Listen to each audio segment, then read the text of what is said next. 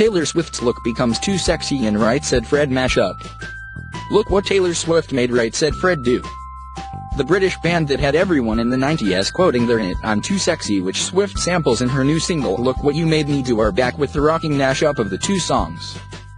Kicking off with the sexy lyrics before Swift's epic chorus drops, the band's recording features electric guitars and live drums, making this mashup harder than both sexy and look.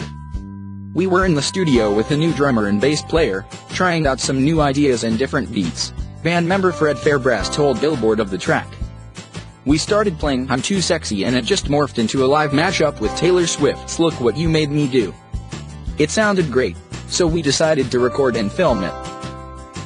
Following Swift's release of the lead single from her forthcoming album Reputation in August, the group indicated on Twitter that they were thrilled she sampled them.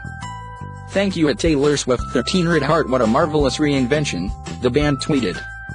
Listen to the mashup above, and then go behind the scenes of Swift's video shoot. This article originally appeared on EW.com.